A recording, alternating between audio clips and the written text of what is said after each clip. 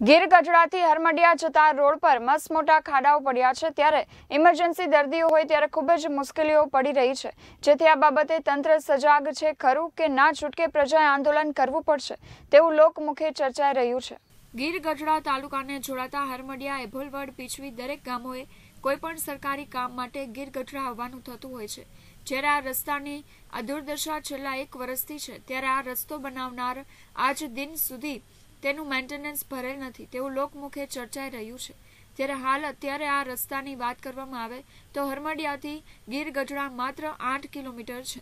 જ્યારે આઠ કિલોમીટરનું અંતર ઇમરજન્સી સારવારમાં અને ત્રીસથી પાંત્રીસ મિનિટનો સમય લાગે છે.